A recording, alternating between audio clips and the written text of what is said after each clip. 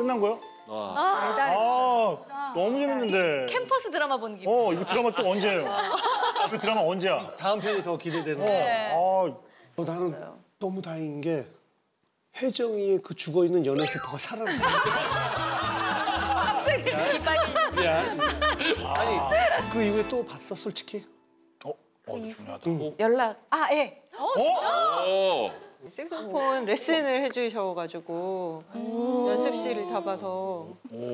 오. 그때 처음 만나는 척 할 때도 미리 다 같이 만나고 있어. 오늘 처음 만나는 척해. 알았어.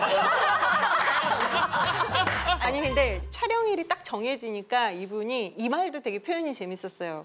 참 그리고 저희 그날 뵙네요. 달력에 동그라미 쳐놨어요. 이렇게 온 거예요. 근데 우리는 요즘에 달력에 동그라미 쳐놨어요라는 표현을 안 하잖아요. 근데 그런 얘기를 하니까 근데 그렇게 감동 나 한다고 나도 해. 할아버지 세상 동그라미